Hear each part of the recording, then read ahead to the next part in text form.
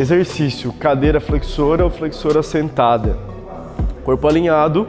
Lembrando sempre que a posição da almofada ela fica sempre aqui atrás, não fica em cima da panturrilha e nem lá no calcanhar.